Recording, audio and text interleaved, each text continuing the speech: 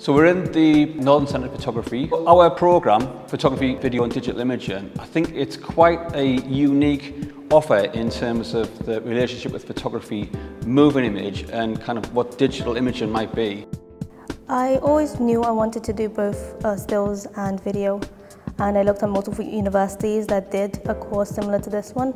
I chose to come to Sunderland. They have more creative freedom when it comes to the course.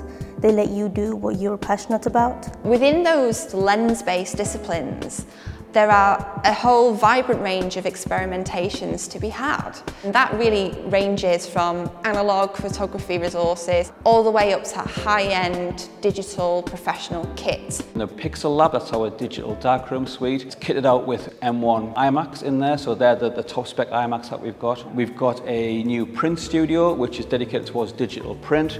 One of our commitments is really to, to supporting our students to get where they want to get to post-graduation. So we work really hard with many of our local, regional and national partners to create opportunities to experience professions-facing activities that really benefit their experience and help build their CVs.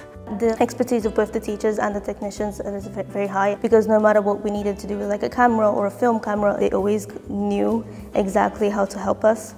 I'm always encouraging students to think about their photography as data to be explored and considered critically. There's a real sense of community at the Northern Centre of Photography. Students studying with us part of, of a much wider set of photographers, artists, part of our network that we've been establishing for a long time now.